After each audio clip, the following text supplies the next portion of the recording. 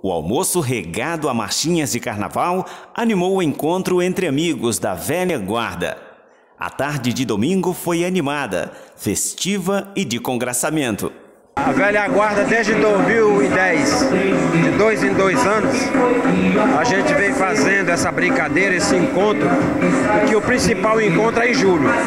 Mas quando vem carnaval, a gente, nós fazemos bloco, nós fazemos encontros e agora aqui no Espaço Evento nós estamos trazendo todos esses nossos colegas da velha guarda, dos anos 60, dos anos 70.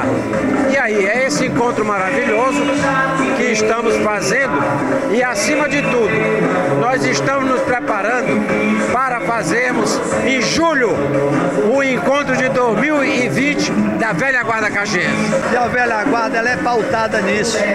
Ela é pautada para agregar, para juntar, para abraçar os caxienses, para fazer dessa velha guarda a evidência constante e acima de tudo mostrar que Caxias tem e sempre terá uma velha guarda positiva.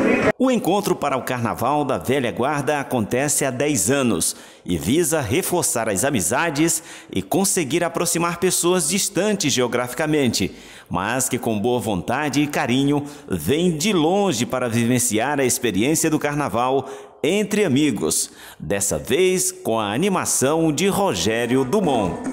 Vem trazer-me o teu calor, vem viver pra mim. É verdade, e olha que o carnaval aqui é maravilhoso, eu adorei. De repente, quem sabe, eu retorno no ano que vem, faço parte da velha guarda Caxias. É, essa reunião propriamente não foi uma reunião, foi apenas um congressamento da equipe que estava chegando de outros lugares e a gente se reuniu para desfrutar, desfrutar das alegrias